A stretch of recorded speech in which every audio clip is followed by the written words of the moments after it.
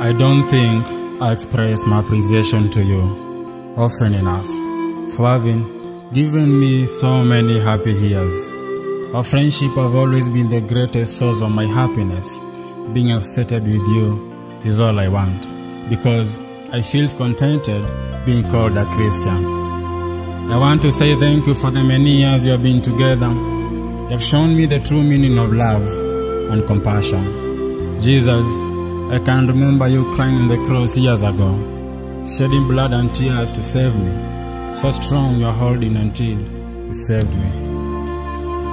Staring at your own feeling and never get anyone else like you. The feeling have only deepened with time.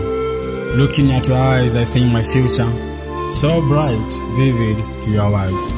The world would have been hell if it wasn't you. Your sacrifice on the cross to dine and leave all the world luxury was the beginning of my dream. A dream to become a martyr. A dream to sit on the throne.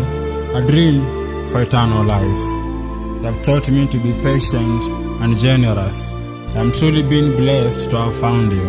As I reflect our time together, my mind is flattered with happy moments of life have had together. I can't forget those difficult times you offered your support.